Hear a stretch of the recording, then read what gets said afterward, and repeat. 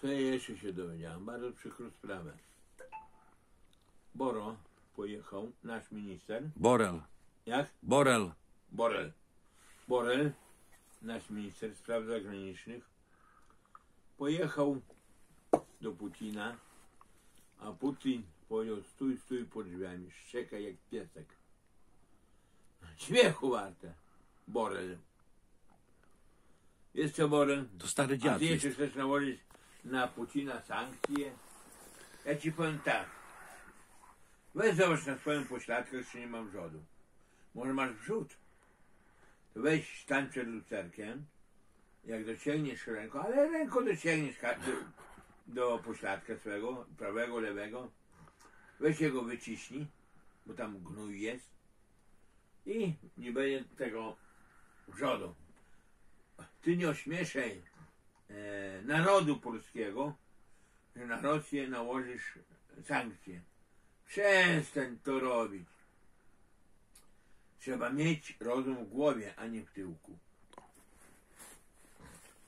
Bo trzeba z Putinem rozmawiać konkretnie. A jeszcze chciałem Cię zapytać, ministrze Borelu, czy Ty umiesz, umiałeś rozmawiać po rosyjsku?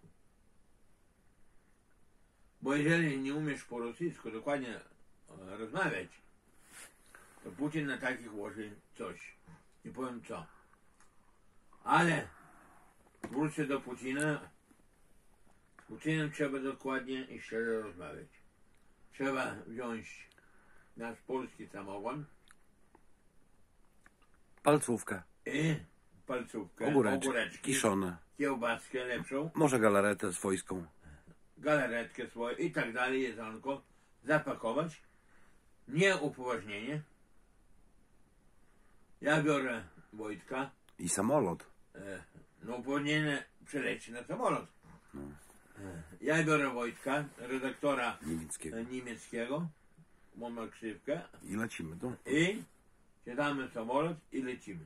do Putina. do Putina i ja rozmawiam, bo to trzeba z Putinem konkretnie rozmawiać, i o- oprzeć o stół.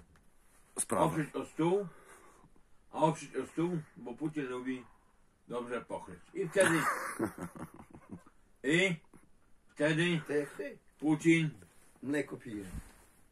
i wtedy Putin powie, dobra, хорош- хороший człowiek, nasz, ładny człowiek nasz, przystojny, ja wojny prowadzić nie będę. Wycofa wojska, wycofa wszędzie, będzie ładnie, pięknie. I będzie spokój i łatwy i tak dalej. Bo wy nie umiecie e, ministrowie załatwiać z tego powodu, że wy nie uczyliście może, może nie uczyliście się od szkoły podstawowej języka rosyjskiego. I słabe głowy mają. A jak niemiecki powiedział dla mnie, Słabe słabe, gł- słabe głowy macie. Słabe głowy macie, więcej macie ścieczki, więcej krowa zje ścieczki i, i koń, zwierzę, jak wy. Wy macie głowę pustka. Pustkę macie całkowicie. I powiem tak, że naprawdę, naprawdę trzeba rozmawiać, umieć. Człowiek z człowiekiem, ani nie wiadomo jak rozmawiacie i tak dalej. I powiem, że nie tak się rozmawia jak e, ty, ministrze Borel, że po, poleciałeś, myślałem, że oj, Putin otworzy tobie krem, wejdziesz, bo porozmawiać i tak dalej. Nie. Na takich ludzi Putin może coś, jak powiedziałem. Nie będę ciebie obrażać słowami wulgarnymi, ale wiesz co, jeszcze raz mówię, weź spójrz na swoje pośladki, czy nie ma wrzodu. Bo wiesz, jak masz wrzód, wyciśnij, żeby ten gnój wskoczył, żeby tobie pośladek nie bolał któryś.